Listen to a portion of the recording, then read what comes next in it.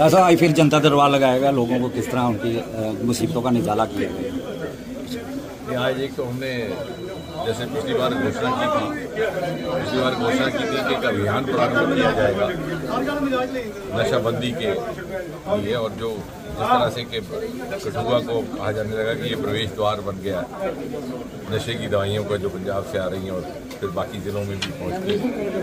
तो उस बदनुमा जो रेपुटेशन है उसे मुक्ति प्राप्त करने के लिए एक एक जॉइंट कैंपेन जिसमें प्रशासन भी शामिल थी पुलिस भी शामिल थी समाज के प्रतिनिधि लेकर के कार्यक्रम हुआ नुक्कड़ नाटकों के माध्यम से जागरूकता पैदा करने का प्रयास पुलिस ने भी ये निर्णय किया है और उन्होंने घोषणा भी की है कि कोई इस बारे में नरमी नहीं बरती जाएगी। जहाँ जहाँ भी इस प्रकार की उनको सूचना मिलेगी कि ड्रग ट्रैफिकिंग हो रही है, उसके खिलाफ उचित कार्रवाई की जाएगी। दूसरा हमारा विषय है इलीगल माइनिंग का, जिसके चलते अधिकतर कंस्ट्रक्शन कंपनीज़ का भी ये कहना है कि कठुआ में विकास तो बहुत हो गया 200 से अधिक पुल बन गए।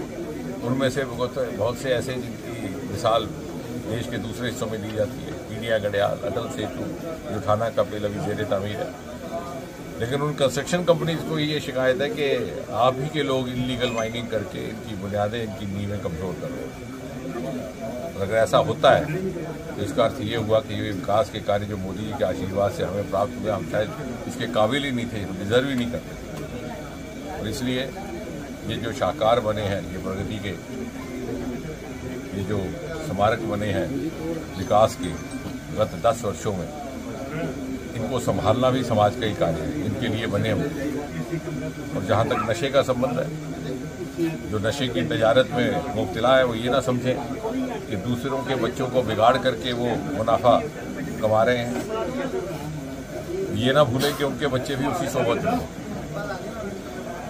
वो बीमारी उन तक भी पहुँच सकती है। और तीसरा, पशु तस्करी को तो तीन मुद्दों को लेकर के विचार भी हुआ। प्रशासन भी था, पुलिस भी था और एक बड़ी गंभीर कार्रवाई की जाएगी। हमने प्रशासन को आश्वासन दिया उनका ये कहना था कि जब भी हम इलीगल करप्शन के खिलाफ कार्रवाई करते हैं तो कुछ एक तथाकथित जनप्रतिनिधि और खुद अपने आप को नेता कहने वाले लोग ही आकर के हमारी कार्रवाई में बाधा बनते हैं हमने उनसे ये कहा कि हम मोदी जी के उस मंत्र का पालन करने वाले कार्यकर्ता हैं कि ना खाऊँगा, ना खाने दूँगा। और इसलिए जहाँ समाज हित में कार्रवाई हो रही है हो और हम उनको पूरा सहयोग देंगे।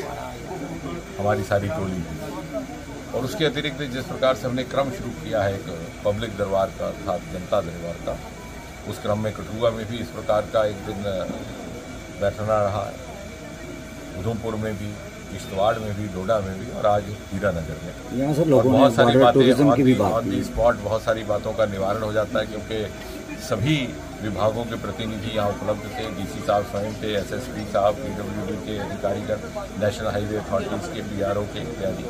और लोगों को भी ये संतुष्टि पहुँचती क्योंकि सब काम तो किसी के हो भी नहीं सकते। लेकिन हाँ ईमानदारी से प्रयास किया जा रहा है। हमारी तरफ़ से ये संदेश रहना चाहिए। और कुछ एक स्टार्टअप्स को लेकर के भी यहाँ पर जागरूकता देने का प्रयास रहा है, जो लाभार्थी थे, उन्होंने स्वयं अपने अनुभव बयान किए। तो कोई भी सरकार प्रत्येक युवा को तनख्वाह याफ्ता सरकारी नौकरी नहीं दे सकती। यदि कोई हमने से आकर ऐसा कहता है तो गलत कहता है वो तो गुमराह किया जाता है। लेकिन हाँ मोदी जी के नेतृत्व में एक जिम्मेवार सरकार है, वो अपना दायित्व समझती है कि हम रोज़गार के ऐसे विकल्प उपलब्ध करवाएँ, जिससे हमारा नौजवान स्वयं अपनी जीविका कमा सके, अपनी रोजी कमा सके। और ऐसे अनेकों उसकी भी जानकारी आज दी गई। और ऐसी ऐसी योजनाएँ जिनमें सरकार की ओर से सब्सिडी भी दी जाती है, प्रशिक्षण भी दिया जाता है और अभी हाल ही के बजट में स्टार्टअप्स को लेकर के एंजल टैक्स माफ़ कर दिया गया। इंटर्नशिप का प्रावधान किया गया, जो पेड इंटर्नशिप होगी, पाँच हज़ार नौजवान को उपलब्ध रहेगा। और कुछ एक ऐसे क्षेत्र हैं, जैसे स्पेस स्टार्टअप्स इत्यादि, जहाँ पर एक हज़ार करोड़ की राशि भी निर्धारित की गई है।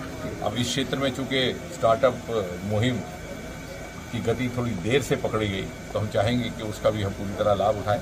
विशेषकर ऐसे अवसर पर कि जबकि जम्मू कश्मीर से जन्म लिए हुए लेवेंडर स्टार्टअप्स ने सारे देश में ख्याति प्राप्त की है और दूसरे राज्य जैसे उत्तराखंड हिमाचल प्रदेश नागालैंड हिमालय की गोद में बसे हुए सारे के सारे प्रदेश उसमें अब दिलचस्पी लेंगे बॉर्डर टूरिज़्म पर भी बात की कि लोगों ने कहा कि नीचे ही टूरिज़्म को बढ़ावा देने के लिए अनिवार्य रहता है कि यातायात सरल रहे। और पहली बार मोदी जी के आने के बाद गत दस वर्षों में ज़ीरो लाइन तक सड़कों का निर्माण हुआ है। आप वहाँ जाकर के स्वयं देख सकते हैं। एक ज़माना था जबकि हमारी न सरकार केंद्र में थी, न प्रदेश में थी और हमारे कार्यकर्ता रोज ही विषय को लेकर धरना प्रदर्शन करा करते थे। कई बार बॉर्डर तक हमारा प्रोटेस्ट मार्च भी रहा करता। लेकिन मोदी जी ने वो जो क्षेत्रीय असंतुलन था उसे भी समाप्त किया। जो भेदभाव की राजनीति थी उसे भी समाप्त किया। और जहाँ जिस चीज़ की आवश्यकता थी उसको वहाँ पहुँचाना उसकी पूर्ति करना ये हमारा निरंतर प्रयास है। पिछले दिनों के आतंकी हमलों की चुनौती है सरकार कैसे निपटेगी? पिछले दिनों के आतंकी हमलों को लेकर के सरकार ने अनेकों कार्रवाइयाँ भी की हैं और उससे सबसे महत्वपूर्ण निर्णय रहा है कि वीडीजीज को फिर से रिवाइव किया गया। और उतना ही नहीं उनके हथियारों का उनके शस्त्रों का आधुनिकरण सेल्फ लोडिंग राइफल्स इत्यादि और वीडीजीज नहीं बनाने का भी ऑप्शन रहेगा, विकल्प रहेगा, जहाँ जहाँ उसकी आवश्यकता रहे। कुछ सेना ने भी अपनी रणनीति में तब्दीली लाई है, जिसको सार्वजनिक तौर पर जिसकी व्याख्या नहीं होती।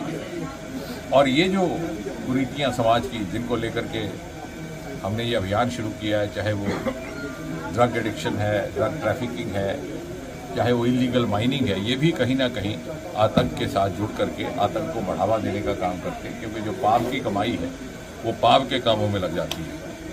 शाम से कुछ बटालियन को मंगवाया जा रहा है तो वो उसको उनकी वो उनकी रणनीति का एक हिस्सा है और जो भी सरकार करेगी या गृह मंत्रालय करेगा अपने विवेक से वो राष्ट्र हित और देश हित में और सुरक्षा हित में।